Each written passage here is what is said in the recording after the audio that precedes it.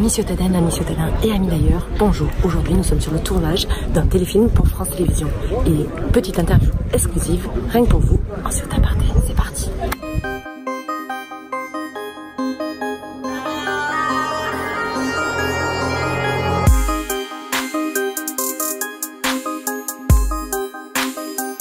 Ce qui m'amène à La Ciotat, c'est un tournage, un téléfilm de France 2 pour la série État d'urgence, dans lequel je joue le rôle d'une fliquette.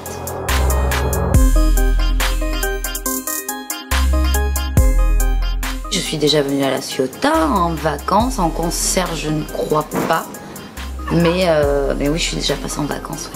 C'est vrai que j'adore venir ici et euh, c'était très frustrant ce matin d'être à La Ciotat et de ne pas pouvoir profiter voilà, de, de- de si jolis paysages.